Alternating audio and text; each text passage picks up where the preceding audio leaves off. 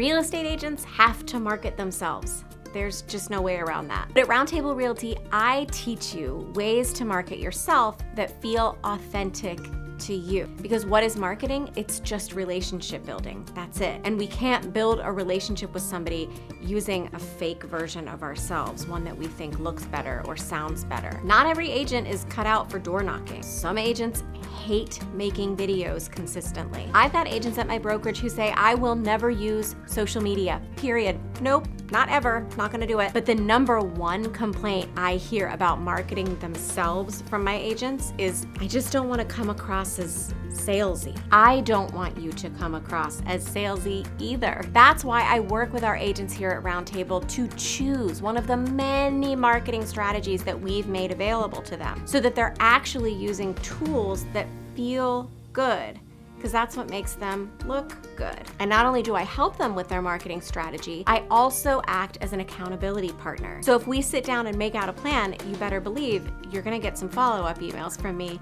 making sure the plan is in place. If it's not, what do we need to do to tweak the plan? And how can I help you do that? For some agents, that means meeting me right here in this studio once a month to batch create content that they can then drip out in the coming weeks. For other agents, it means that I work with them and then create personalized postcards that they send out consistently to their sphere and past clients or their farming neighborhood every single month. I actually design them and send them so it's pretty hands off for the agents, but they're still getting a touch point. It might even mean just teaching one of my agents how to make an Instagram reel. That's valuable. No matter what you've tried marketing yourself in the past, without somebody on your side, a partner, who's working with you to create content that actually looks and feels like you, it's gonna be hard to market yourself to the world as a real estate agent without feeling nervous that you're coming across as salesy or pushy. So if you've ever got a question about marketing that you think I might be able to help you with, reach out.